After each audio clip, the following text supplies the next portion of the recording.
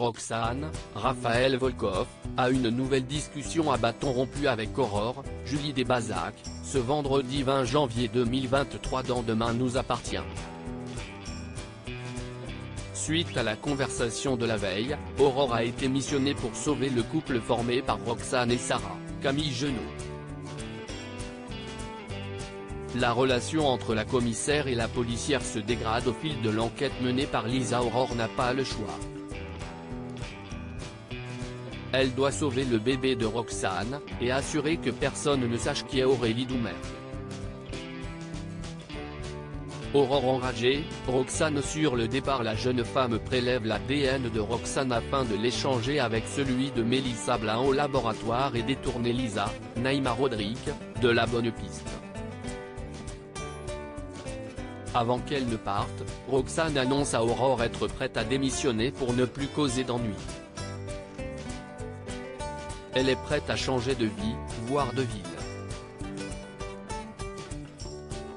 Cette dernière, énervée de devoir trafiquer des tubes d'ADN, malgré sa probité professionnelle, dissuade la femme enceinte pour ne pas relancer les soupçons de Lisa. Finalement, Aurore se rend au laboratoire où Damien, Adrien Robe, est prêt à procéder à l'analyse. Elle le fait fuir en renversant du café sur lui et procède à l'échange. Les résultats sont probants, Damien et Georges, attachés à Roxane, sont soulagés. Lisa, dont la piste se refroidit clairement, peine à accepter sa défaite. La phobie d'Adam dans Demain nous appartient dans le même temps, Amel et Adam se donnent rendez-vous.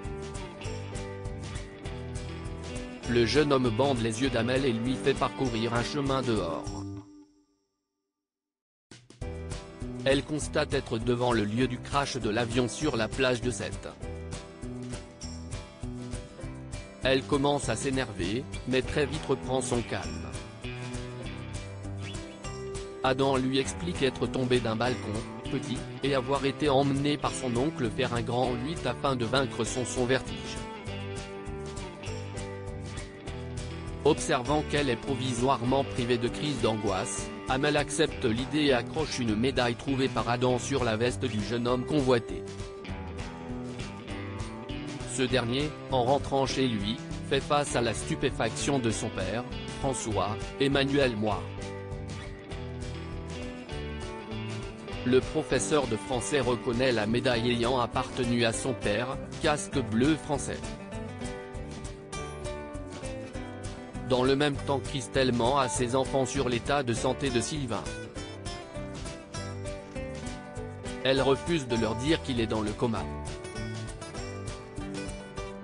Bruno manipule Julie, Nathan fou de rage de son côté, Julie rencontre son père, Bruno Paoletti, Kevin Levy, au restaurant. Ce dernier use de son côté manipulateur pour faire croire à sa fille qu'il a tiré une leçon de ses erreurs passées. Connaissant bien son père, Nathan, Adé, met en garde Julie et lui explique que l'addition a été payée avec l'avance de salaire perçue par Nathan et donnée à son père. À la fin de l'épisode, les tensions sont au maximum. Bruno, qui a flairé que Julie allait devenir médecin et réussir, attaque son fils, vous n'êtes pas né avec le même potentiel. Nathan lui répond par une insulte, tu vas la fermer ta gueule Demain nous appartient est à retrouver du lundi au vendredi dès 19h10 sur TF1.